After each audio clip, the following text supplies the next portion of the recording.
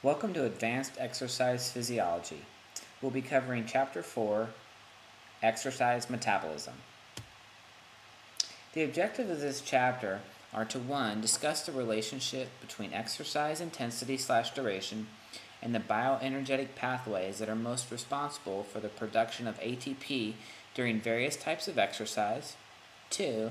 To describe graphically the change in oxygen uptake during the transition from rest to steady state exercise, and then the recovery from exercise. In addition, we want to identify the oxygen deficit, oxygen requirement, and oxygen debt, which is the excess post exercise oxygen uptake.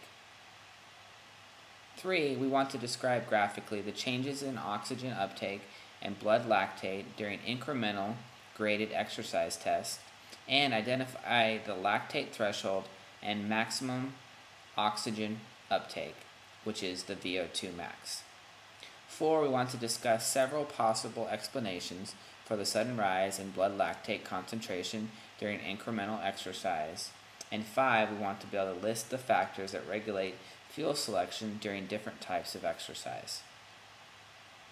Six, we are looking to describe the changes in the respiratory exchange ratio with increasing intensity of exercise during prolonged exercise of moderate intensity. 7. We're seeking to describe the types of carbohydrate and fats used during the increasing intensity of exercise and during prolonged exercise of moderate intensity. 8. We want to describe the lactate shuttle with examples of how it is used during exercise. For those of you who are taking notes, here's a simple outline to follow. We'll be addressing energy requirements at rest, rest to exercise transitions, recover from exercise, which are metabolic responses, metabolic responses to exercise, which influence of duration and intensity, the estimation of fuel utilization during exercise, and factors governing fuel selection.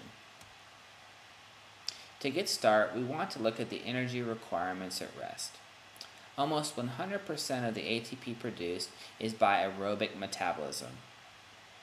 We see that our blood lactate levels are low, less than 1 millimolar per liter, and the resting oxygen consumption is approximately 0.25 liters per minute or 3.5 milliliters per kilogram per minute. Now, if we look at the rest to exercise transition, ATP production increases immediately the oxygen uptake increases actually rapidly. It reaches a steady state within 1 to 4 minutes. After steady state is reached, the ATP requirement is met through aerobic ATP production. The initial ATP production, however, is met through anaerobic pathways, both the ATP PC system as well as glycolysis. Now, the oxygen deficit is the lag in oxygen uptake at the beginning of exercise. Now, if we take a quick comparison of trained and untrained subjects, trained subjects have a lower oxygen deficit. They are better developed in their aerobic bioenergetic capacity, and this is due to cardiovascular or muscular adaptations. This results in less production of lactate and hydrogen protons. So, in summary, the transition from rest to light or moderate exercise, oxygen uptake increases rapidly, generally reaching a steady state within 1 to 4 minutes. The term oxygen deficit applies to the lag in oxygen uptake at the beginning of exercise. The failure of oxygen uptake to increase instantly at the beginning of exercise suggests that the anaerobic pathways contribute to the overall production of ATP early in exercise. After a steady state is reached, the body's ATP requirements is met via aerobic metabolism. Moving on, we want to look at the recovery from exercise. The oxygen uptake remains elevated above rest well into recovery. Oxygen debt, the term used by A.V. Hill, is a repayment for the O2 deficit at the onset of exercise. Another common term, EPOC, which stands for excess post exercise oxygen consumption. The terminology reflects that only approximately 20% of the elevated O2 consumption used to repay the O2 deficit. Many scientists use these terms interchangeably. Now, if we look a little bit more closely at oxygen debt, it's broken into two portions. The first is the rapid portion of O2 debt, which involves the resynthesis of stored PC as well as replenishing muscle and blood O2 stores. The slow portion of O2 debt deals with the elevated heart rate and breathing, which increases energy need, the elevated body temperature, which increases metabolic rate, the elevated epinephrine and norepinephrine, which again increases metabolic rate, and finally the conversion of lactic acid to glucose, gluconeogenesis. Now, EPOC is greater following higher intensity exercises. This is due to higher body temperature, a greater depletion of PC, where additional oxygen is required for resynthesis, greater blood concentrations of lactic acid, and higher levels of blood epinephrine and norepinephrine. This diagram below will again reflect the factors contributing to EPOC. Now I want to take a look at the removal of lactic acid following exercise. First, there's a classical theory, where the majority of lactic acid is converted to glucose in the liver. However, there is new recent evidence that 70% of lactic acid is oxidized and used as a substrate by the heart and skeletal muscle, that 20% is converted to glucose, and actually 10% is converted to amino acids. The lactic acid is removed more rapidly with light exercise and recovery with an optimal intensity of approximately 30 to 40% of an individual's VO2 max. Now below is a graph or chart of blood lactate removal following strenuous exercise. Again, you will see that light exercise helps facilitate the removal of blood lactate. So in summary, the oxygen debt, also called Excess post-exercise oxygen consumption, or EPOC, is the O2 consumption above rest following exercise. Several factors contribute to EPOC. First, some of the O2 consumed early in the recovery period is used to resynthesize stored PC in the muscle and to replace O2 stores in both muscle and blood. Other factors that contribute to the slow portion of the EPOC include the elevated body temperature, the O2 required to convert lactate to glucose, the elevated blood levels of epinephrine and norepinephrine. Now, if we look at the metabolic responses to short term intense exercise, within the first 1 to 5 seconds of exercise, we get ATP through the ATP PC system. With intense exercise longer than 5 seconds, there is a shift to AT production or ATP production via glycolysis. And now with events or exercise lasting longer than 45 seconds, we see ATP production through ATP, PC, glycolysis, and aerobic systems, where approximately 70% is anaerobic and 30% is aerobic at 60 seconds, and approximately 50% is aerobic and 50% is anaerobic at 2 minutes. So in summary, during high intensity short-term exercises, approximately 2 to 20 seconds, the muscle's ATP production is dominated by the ATP PC system. Intense exercise lasting longer than 20 seconds relies on the anaerobic glycolysis to produce much of the needed ATP. Finally, High intensity events that last longer than 45 seconds use a combination of the ATP PC system, glycolysis, and the aerobic system to produce the needed ATP for muscular contraction, with approximately a 50 50 ratio of anaerobic to aerobic contribution needed for exercises lasting between 2 to 3 minutes. Now, if we look at the metabolic responses to prolonged exercise, we have prolonged exercises greater than 10 minutes, in which case the ATP production primarily is from aerobic metabolism. A steady state oxygen uptake can generally be maintained during submaximal exercise for these prolonged exercises. For the prolonged exercise in hot and humid environment or at high intensity, there is an upward drift in oxygen uptake over time.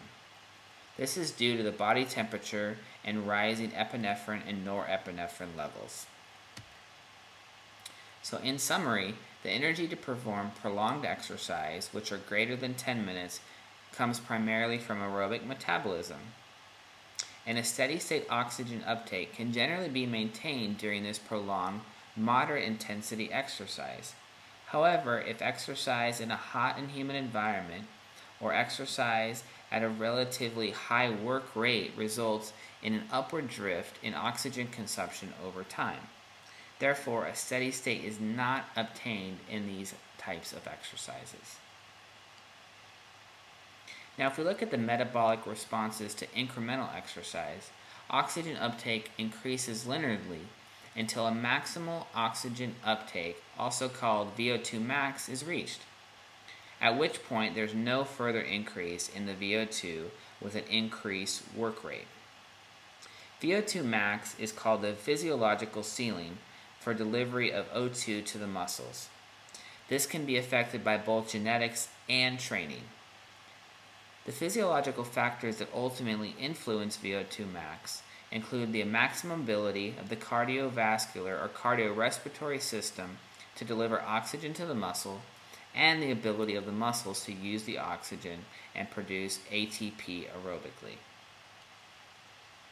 If you look at this chart, again you can see that the changes in oxygen uptake during incremental exercise plateau at a point of a VO2 max, where even with increased work rate, the VO2 max cannot increase anymore and it reaches its physiological ceiling. Now moving on to discuss lactate threshold. This is the point at which blood lactic acid rises systematically during incremental exercise.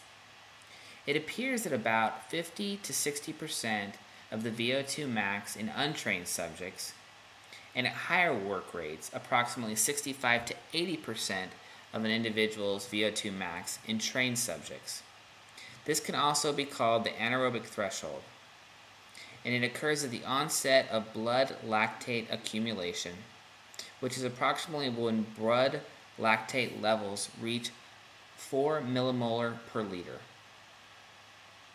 Again, you can see this the changes in blood lactate concentration during incremental exercise, where there's a dramatic increase, approximately around 60% of a subject's VO2 max.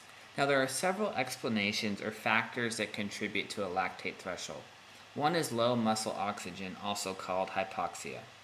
The other is accelerated glycolysis, where NADH is produced faster than it is shuttled into the mitochondria, and then the excess NADH in the cytoplasm converts pyruvic acid to lactic acid. There's also a recruitment of fast twitch muscle fibers, where the LDH isoenzyme in the fast fibers promotes lactic acid formation, and there's a reduced rate of lactate removal from the blood. Again, the mechanisms to explain the lactate threshold are shown in the diagram on the screen. Now, what are some of the practical uses of the lactate threshold? One is a prediction of performance, which can also be combined with the subject's VO2 max. It's also very useful in planning training programs. It's a marker of training intensity and also chooses a training heart rate based on an individual's lactate threshold. So, in summary, the oxygen uptake increases in a linear fashion during incremental exercise until a VO2 max is reached. The point at which there is a sudden increase in the blood lactate concentration during incremental or graded exercise is termed lactate threshold. Also, controversy exists over the mechanism to explain the sudden rise in blood lactate acid concentrations during incremental exercise. It's possible that any one or a combination of following factors might provide an explanation for the lactate threshold. One being low muscle oxygen, two being accelerated glycolysis due to epinephrine and norepinephrine, three the recruitment of fast muscle fibers, or four a reduced rate of lactate removal. The lactate threshold also has practical uses such as in performance prediction and as a marker of training intensities. So a question we want to ask that is commonly referred to is does lactate cause muscle soreness? Lactate production is commonly believed to cause muscle soreness. There is a delayed onset of muscle soreness approximately 24 to 48 hours after exercise. However, physiological evidence does not support this claim. Lactate removal is rapid within 60 minutes following exercise. Power athletes should experience delayed onset muscle soreness after every workout, where muscle soreness is rare following a routine workout. What does cause the muscle soreness then? Most muscle soreness is actually caused by microscopic injury to the muscle fibers leading to inflammation. Now moving on and looking at an estimation of fuel utilization during exercise, we want to look at the respiratory exchange ratio, which is called RER or simply R, which is the volume of carbon dioxide over the volume of oxygen. Now, the R for fat, or the respiratory exchange ratio for fat, would be equal to 0.7, where the R for carbohydrates, or glucose in this case, would be equal to 1.0. Now this might not make a tremendous amount of sense until we look at the chart below, where if we look at the R in the left hand of the table and we see a 0.7 respiratory exchange ratio rate, we are utilizing 100% fat and 0% carbohydrates. Conversely, when you scroll down and you look at the R of 1.0, we're now using 0% fat and 100% carbohydrates. This is extremely important and useful when looking at training zones in relation to whether a person is burning fats and or carbohydrates. So in summary, the respiratory exchange ratio is the ratio of carbon dioxide produced to the oxygen consumed. In order for R to be used as an estimate of substrate utilization during exercise, the subject must have reached a steady state. This is important because only during steady state exercise are the VO2 and the VO reflective of metabolic exchanges of gases and tissues. The caloric equivalent for oxygen is approximately 4.7 kilocalories per liter when fat alone is used, and 5.0 kilocalories per liter when carbohydrate alone is used, about a 6% difference. Now, if we look at exercise intensities for fuel selection, we see that at low intensities, exercise is approximately 30% of an individual's VO2 max, fats are the primary fuel. However, at high intensity exercises, greater than 70% of an individual's VO2 max, carbohydrates are the primary fuel. The crossover concept describes a shift from fat to carbohydrate metabolism as exercise intensity increases. This can be due to the recruitment of fast twitch muscle fibers or the increasing blood levels of epinephrine. The graph or chart below illustrates the crossover concept. Whereas VO2 increases, you have a decrease in fat percentage and an increase in carbohydrate percentage. So based on the crossover concept, we need to ask the question, is low intensity exercise best for burning fat? If we look at it, at low exercise intensities, approximately 20% of the VO2 max, a high percentage of energy expenditure, approximately 60% is derived from fat. However, the total energy expended is very low. The total fat oxidation is also low. But at higher exercise intensities, approximately 50% of the VO2 max, there's a lower percentage of energy, approximately 40%, that comes from fat. However, the total energy expended is higher, and the total fat oxidation is also higher. So to answer the question, is low intensity exercise best for burning fat? The answer is no. If we look at the rate of fat metabolism at different exercise intensities, again you'll see that the optimal exercise intensity for burning fat or utilizing fat metabolism is actually at 50% of the VO2 max, not the lower intensity of 20% of VO2 max. Now looking at exercise duration and fuel selection, we see that in prolonged low intensity exercise, there is a shift from carbohydrate metabolism towards fat metabolism. This is due to an increased rate of lipolysis, where we have a breakdown of triglycerides to glycerols and fatty acids by enzymes called lipases. Both are stimulated by raising blood levels of epinephrine. So as you can see from the graph, again there's a shift from carbohydrate to fat metabolism during prolonged exercise. Now if we look at the interaction of fat and carbohydrate metabolism during exercise, we see that fat burns in the flame of carbohydrates, meaning we need to be using some carbohydrates in order to metabolize fat. Also, glycogen is, de is depleted during prolonged high-intensity exercises. So we see a reduced rate of glycolysis and production of pyruvate, reduced Krebs cycle intermediates, and reduced fat oxidation. Ultimately, the fats are metabolized by the Krebs cycle. Now, on a practical note, we do see that carbohydrate feeding via sports drinks does improve endurance performance. During an endurance event, we see a depletion of muscle and blood carbohydrate stores, which contributes to fatigue. The ingestion of carbohydrates can improve the endurance performance. During submaximal, less than 70% VO2 max, long duration, greater than 90 minutes of exercise, we see that 30 to 60 grams of carbohydrates are required.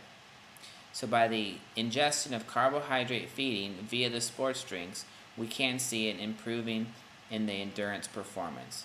We might also see an improved performance in shorter high intensity events as well. So if we address the sources of carbohydrates during exercise that the body uses, one is from muscle glycogen, and this is the primary source of carbohydrates during high intensity exercise. It supplies much of the carbohydrates in the first hour of exercise.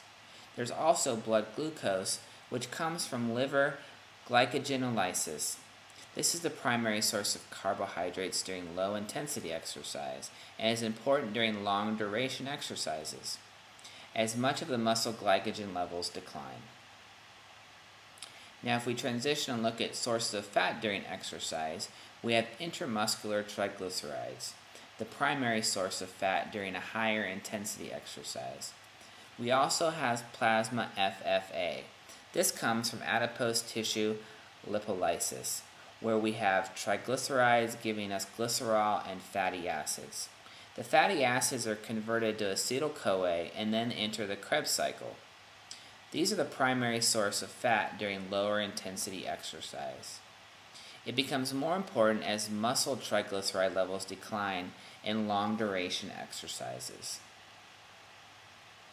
Again, we can see from the chart below the influence of exercise intensity on muscle fuel stores.